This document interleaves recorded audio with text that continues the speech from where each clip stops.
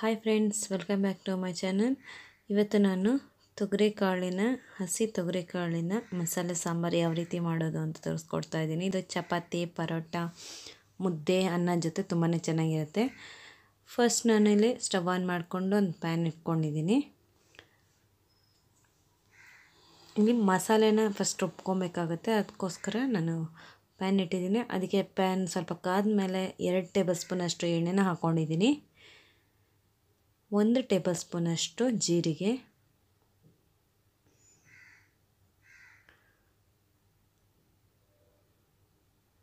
ಹಾಗೆ ಇದಕ್ಕೆ ದಪ್ಪದಾಗಿ ಹಚ್ಚಿಟ್ಕೊಂಡಿರೋಂಥ ಈರುಳ್ಳಿನೂ ಹಾಕ್ತಾ ಇದ್ದೀನಿ.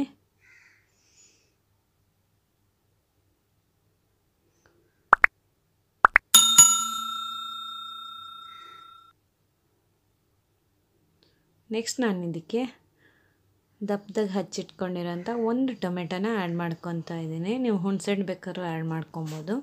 ನಾನೇನು ಟೊಮೆಟೊನ ಆ್ಯಡ್ ಮಾಡ್ಕೊಂಡಿದ್ದೀನಿ. ಈರುಳ್ಳಿನೂ ಟೊಮೆಟೊ ಎಲ್ಲ ಚೆನ್ನಾಗಿ ಫ್ರೈ ಆಗಬೇಕು. ಅಲ್ಲಿವರೆಗೂ ಚೆನ್ನಾಗಿ ಫ್ರೈ ಮಾಡ್ಕೊಳ್ಳೋಣ. ನೆಕ್ಸ್ಟ್ ನಾನಿಲ್ಲಿ ಇದಕ್ಕೆ ಖಾರಕ್ಕೆ ಹಸಿ ಮೆಣಸಿನ್ಕಾಯಿ, ಹಸಿ ಇರೋದು ಹಣ್ಣಾಗಿರೋ ಅಂಥ ಮೆಣಸಿನ್ಕಾಯಿನ ಹಾಕ್ತಾಯಿದ್ದೀನಿ ನಂಗೆ ಹಣ್ಣಾಗಿರೋದು ಜಾಸ್ತಿ ಸಿಗದೇ ಇರೋದ್ರಿಂದ ನಾನು ಒಣ ಮೆಣಸಿನ್ಕಾಯಿ ಒಂದೆರಡು ಯೂಸ್ ಮಾಡ್ಕೊಂಡಿದ್ದೀನಿ. ಖಾರಕ್ಕೆ ತಕ್ಕಂತೆ ನೀವು ಹಣ್ಣು ಮೆಣಸಿನ್ಕಾಯಿನೇ ಯೂಸ್ ಮಾಡ್ಕೊಳ್ಳಿ. ಹಾಗೆ ಕೊತ್ತಂಬರಿ ಸೊಪ್ಪು.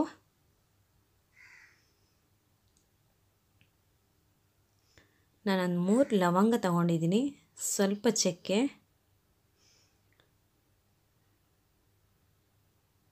ಎಲ್ಲನೂ ಚೆನ್ನಾಗಿ ಫ್ರೈ ಮಾಡ್ಕೊಳ್ಳೋಣ.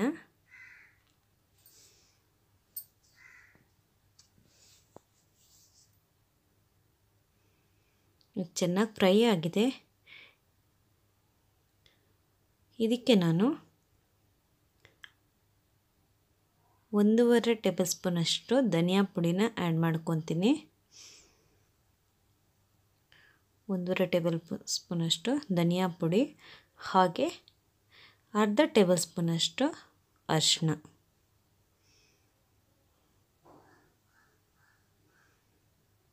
ಎಲ್ಲನೂ ಹಾಕಿ ಚೆನ್ನಾಗಿ ಮಿಕ್ಸ್ ಮಾಡ್ಕೊಳ್ಳೋಣ.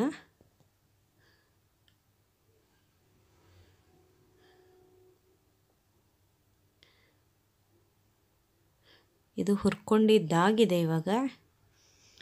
ಇದು ಸ್ವಲ್ಪ ಆರಲಿ. ಅಷ್ಟೊತ್ತೆ ನಾವು ಒಗ್ಗರಣೆ ಮಾಡ್ಕೊಳ್ಳೋಣ. ನೆಕ್ಸ್ಟ್ ನಾನು ಸ್ಟವ್ ಆನ್ ಮಾಡಿಕೊಂಡು ಕುಕ್ಕರ್ ಇಟ್ಕೊಂಡಿದ್ದೀನಿ. ಇದಕ್ಕೆ ಎರಡು ಟೇಬಲ್ ಸ್ಪೂನಷ್ಟು ಎಣ್ಣೆನ ಹಾಕ್ಕೊಂಡಿದ್ದೀನಿ. ಎಣ್ಣೆ ಕಾದ ನಂತರ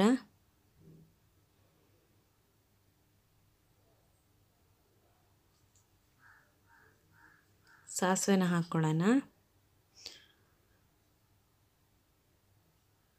ಸಾಸಿವೆ ಸಿಡಿತಾ ಇದ್ದಾಗೆ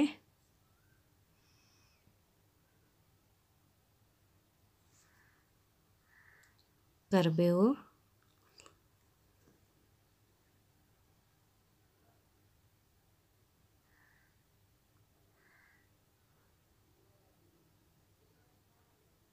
ಮೀಡಿಯಮಾಗಿ ಹಚ್ಕೊಂಡಿರೋ ಅಂಥ ಒಂದು ಈರುಳ್ಳಿನ ಆ್ಯಡ್ ಮಾಡ್ಕೊತಾ ಇದ್ದೀನಿ ನಾನು. ಹಾಗೆ ಇದಕ್ಕೆ ಟೊಮೆಟೊನೂ ಹಾಕ್ತಾಯಿದ್ದೀನಿ ಒಂದು ಟೊಮೆಟೊ ರುಬ್ಬಕ್ಕೆ ಒಂದು ಟೊಮೆಟೊ ಹುರಿಯೋದಕ್ಕೆ ಹಾಕ್ಕೊತಾ ಇದ್ದೀನಿ. ಈರುಳ್ಳಿನೂ ಚೆನ್ನಾಗಿ ಫ್ರೈ ಆಗಬೇಕಿದು.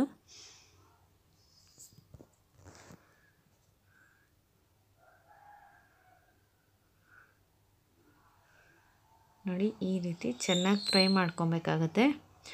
ಈರುಳ್ಳಿ ಚೆನ್ನಾಗಿ ಬೆಂದ ಮೇಲೆ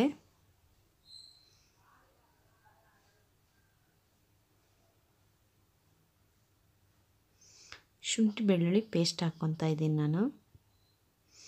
ನೀವು ರುಬ್ಬೋದಕ್ಕೆ ಬೇಕಾದ್ರೆ ಬೆಳ್ಳುಳ್ಳಿನೂ ಶುಂಠಿನ ಆ್ಯಡ್ ಮಾಡಿಕೊಂಡ್ರೆ ಶುಂಠಿ ಬೆಳ್ಳುಳ್ಳಿ ಪೇಸ್ಟ್ ಹಾಕೋ ಅವಶ್ಯಕತೆ ಇರೋದಿಲ್ಲ.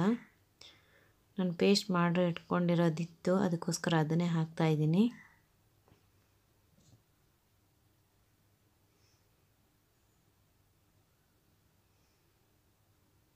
ಹಾಗೆ ಇಲ್ಲಿ ನಾನು ಬಿಡಿಸಿಟ್ಕೊಂಡೆ ಅಂತ ಹಸಿ ತೊಗರಿ ಕಾಳನ್ನ ತೊಳೆದು ಹಾಕ್ಕೊತಾ ಇದ್ದೀನಿ.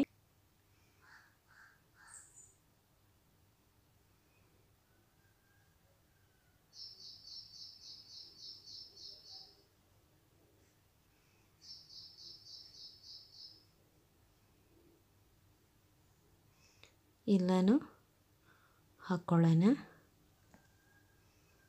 ಇದು ಅಷ್ಟೇ. ಎಣ್ಣೆಯಲ್ಲಿ ಸ್ವಲ್ಪ ಚೆನ್ನಾಗಿ ಮಿಕ್ಸ್ ಮಾಡ್ಕೊಳ್ಳೋಣ. ಒಂದು ಎರಡು ನಿಮಿಷ ಫ್ರೈ ಆಗಲಿ.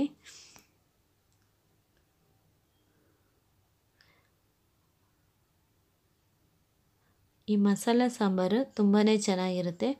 ನೀವು ಮನೇಲಿ ಟ್ರೈ ಮಾಡಿ ಹೇಗಿತ್ತು ಅಂತ ಕಮೆಂಟ್ ಮೂಲಕ ತಿಳಿಸಿ.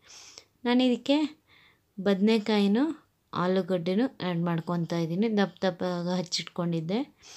ಆಲ್ರೆಡಿ ನೀರು ಹಚ್ಚಿಟ್ಕೊಂಡು ನೀರಲ್ಲಿ ಹಾಕ್ಕೊಂಡಿದ್ದೆ ಅದನ್ನು ಆ್ಯಡ್ ಮಾಡ್ಕೊತಾ ಇದ್ದೀನಿ.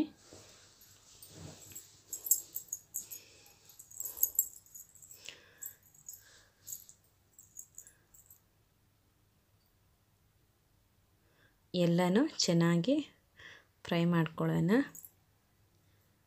ಇದೊಂದು ಎರಡರಿಂದ ಮೂರು ನಿಮಿಷ ಬೇಯ್ಕೊಬೇಕಾಗತ್ತೆ ನೆಕ್ಸ್ಟ್ ನಾನಿಲ್ಲಿ ಮಸಾಲೆ ರುಬ್ಕೊಳ್ಳೋದಕ್ಕೆ ಫಸ್ಟ್ ಕೊಬ್ಬರಿನ ಒಂದು ಕಪ್ ಆಗೋಷ್ಟು ಕೊಬ್ಬರಿನ ರುಬ್ಕೊಂಡು ಇಟ್ಕೊಂಡಿದ್ದೀನಿ. ಒಂದು ಕಪ್ ಆದರೆ ಸಾಕಾಗುತ್ತೆ. ಆಮೇಲೆ ಹುರಿದಿಟ್ಕೊಂಡಿರೋ ಅಂಥ ಮಸಾಲೆನ ಹಾಕ್ಕೊಂಡು ರುಬ್ಕೊಳ್ಳೋಣ.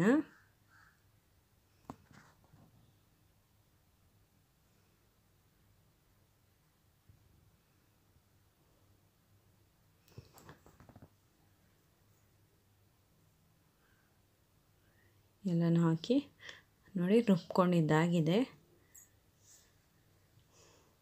ರುಬ್ಕೊಂಡಿರೋ ಮಿಶ್ರಣ ಬೇಯ್ತಾ ಇರೋಂಥ ಮಸಾಲೆಗೆ, ಬೇಯ್ತಾ ಇರೋಂಥ ತರಕಾರಿ ಇದೆಯಲ್ಲ, ಕಾಳುಗಳೆಲ್ಲ ಬೆಂದಿದೆ ಇವಾಗ, ಅದಕ್ಕೆ ಹಾಕ್ಕೊತಾ ಇದ್ದೀನಿ. ಎಣ್ಣೆಯಲ್ಲಿ ಒಂದು ಐದರಿಂದ ಹತ್ತು ನಿಮಿಷ ಚೆನ್ನಾಗಿ ಬೇಯಿಸ್ಕೊಂಡ್ರೆ ಸಾಂಬಾರು ರುಚಿನೂ ಚೆನ್ನಾಗಿರುತ್ತೆ. ರುಬ್ಕೊಂಡಿರೋಂಥ ಮಸಾಲೆನ ಹಾಕ್ಕೊಂಡು ಚೆನ್ನಾಗಿ ಮಿಕ್ಸ್ ಕೊಡೋಣ.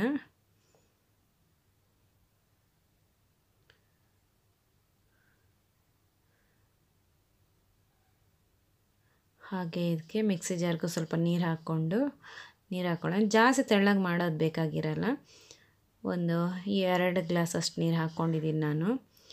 ಸಾಂಬಾರು ಯಾವ ಗಟ್ಟಿ, ಯಾವ ಥರ ಗಟ್ಟಿ ಬೇಕು ನೋಡಿಕೊಂಡು ಮಾಡ್ಕೊಳ್ಳಿ. ಇದು ಜಾಸ್ತಿ ಜಾಸ್ತಿ ತೆಳ್ಳಗೂ ಇರಬಾರ್ದು, ಜಾಸ್ತಿ ಗಟ್ಟಿಗೂ ಇರಬಾರ್ದು. ಆ ರೀತಿ ಮಾಡ್ಕೊಬೇಕಾಗತ್ತೆ. ನಾನು ಎರಡರಿಂದ ಮೂರು ಗ್ಲಾಸ್ ಅಷ್ಟು ನೀರು ಹಾಕ್ಕೊಂಡಿದ್ದೆ. ಹಾಗೆ ಕೊನೆಯದಾಗಿ ಇದಕ್ಕೆ ಉಪ್ಪನ್ನ ಆ್ಯಡ್ ಮಾಡ್ಕೊಳ್ಳೋಣ. ರುಚಿಗೆ ತಕ್ಕಷ್ಟು ಉಪ್ಪು. ನಾನಿಲ್ಲಿ ಕಲ್ಲು ಉಪ್ಪು ಆ್ಯಡ್ ಮಾಡ್ಕೊಂಡಿದ್ದೀನಿ. ನೀವು ಪುಡಿ ಸಹನ ಹಾಕ್ಕೊಬೋದು.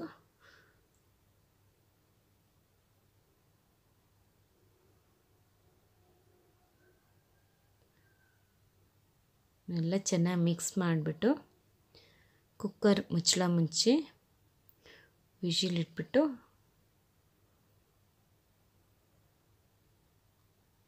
ಎರಡು ವಿಶಿಲ್ ಕುಗಿಸ್ಕೊಳ್ಳೋಣ. ಇವಾಗ ಕುಗ್ಗಿದಾಗಿದೆ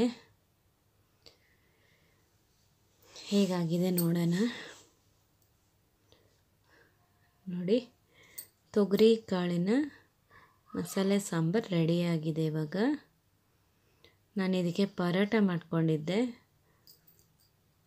ತುಂಬಾ ಚೆನ್ನಾಗಿತ್ತು. ನೀವು ಮನೇಲಿ ಟ್ರೈ ಮಾಡಿ ಈ ವಿಡಿಯೋ ಇಷ್ಟ ಆಗಿದ್ರೆ ಒಂದು ಲೈಕ್ ಕೊಡೋದನ್ನ ಮರಿಬೇಡಿ. Thank you for watching